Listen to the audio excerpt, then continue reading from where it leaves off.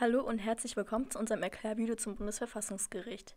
In diesem Video werden wir euch erklären, was es mit dem Bundesverfassungsgericht auf sich hat und werden dabei vor allem auf diese drei Fragen eingehen. Erstens, welche Aufgaben hat das Bundesverfassungsgericht?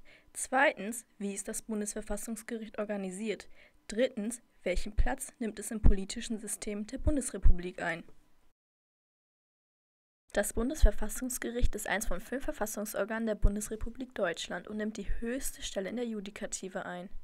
Das Bundesverfassungsgericht nahm seine Arbeit am 17.04.1951 an und hat seinen Sitz in Karlsruhe und wacht über das Grundgesetz. Welche Aufgaben hat das Bundesverfassungsgericht? Das Bundesverfassungsgericht ist für mehrere Aufgaben verantwortlich. Seine Hauptzuständigkeiten sind folgende das Regeln von Streitfragen bezüglich der Verfassung zwischen den Verfassungsorganen, das gerichtliche Überprüfen der Gültigkeit von Rechtsvorschriften, das Umgehen von Verhalten und Verfassungsbeschwerden und Rechts- und Staatssicherung. Insgesamt wacht das Bundesverfassungsgericht über die Erhaltung des Grundgesetzes für die Bundesrepublik Deutschland. Außerdem verschafft es der freiheitlich-demokratischen Grundordnung Wirkung und Ansehen dies tut es seit 1951. Die Beschlüsse des Bundesverfassungsgerichts sind aus dem Grund besonders wichtige Entscheidungen, da sie die Entscheidungen der übrigen Verfassungsorgane, der Exekutive und Legislative sowie die aller Gerichte und Behörden binden.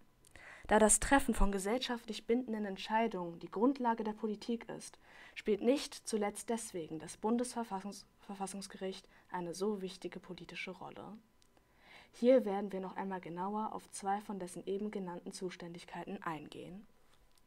Zuständigkeiten und Verfassungsarten Das Bundesverfassungsgericht ist nur dann zur Streitentscheidung zuständig, wenn sich dies aus dem Bundesverfassungsgesetz Artikel 13 ergibt. Es kann, wie bei jedem Gericht, nicht von sich aus aktiv werden.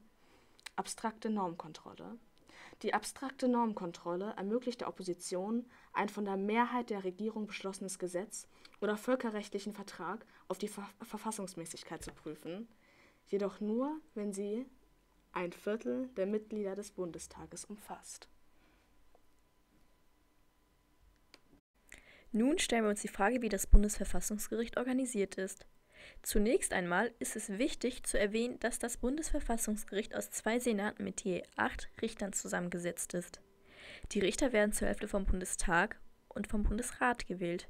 Der erste Senat ist für Normkontrollen und Verfassungsbeschwerden zuständig und der zweite Senat ist für Parteiverbote und Wahlrechtsprüfungen zuständig.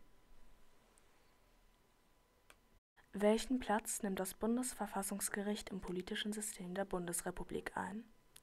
Das Bundesverfassungsgericht nimmt im politischen System den Platz der Judikative ein, welche die dritte Gewalt in Deutschland ist. Alle Gerichte sind politisch unabhängig. Außerdem ist das Bundesverfassungsgericht das wichtigste Gericht in Deutschland. Es schützt das Grundgesetz und die Grundrechte der Bürger, manchmal sogar gegen die anderen Staatsorgane. Zum Schluss haben wir euch nochmal die wichtigsten Punkte rausgesucht. Das Bundesverfassungsgericht ist das höchste Gericht in Deutschland. Es wacht über das Grundgesetz seit dem 17.04.1951. Es kann gegen andere Staatsorgane in Kraft treten und ist politisch unabhängig, kann aber nicht von sich selbst aus aktiv werden